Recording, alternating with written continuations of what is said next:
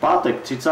října se otevřel v Příbrami zcela nový Laser Game Bar. Možná byste ho jen těžko hledali, protože budova, ve které se nachází, vůbec neodpovídá tomu, že byste po výšlapu do třetího patra mohli vidět něco tak fenomenálního. Dům stojí v Mariánské ulici, hned za kolejemi v budově bývalého Telekomu. Mimo hry Laser Game si můžete zastřílet v příbramském Laser Game baru na laserové střelnici, zahrát ping-pong nebo zkusit air hockey.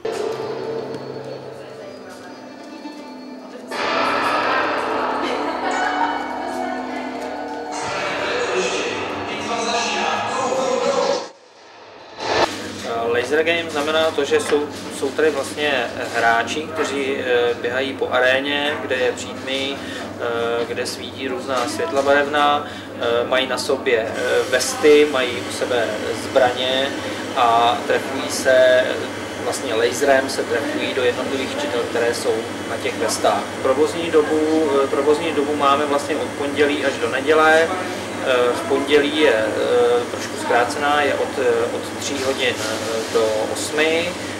V úterí je od 3 do 22. Tato hodina je vlastně až do pátku a sobot, v sobotu je prodloužená, prodloužená doba otevírací, ta je od 10 hodin dopoledne až do 22 hodin večer.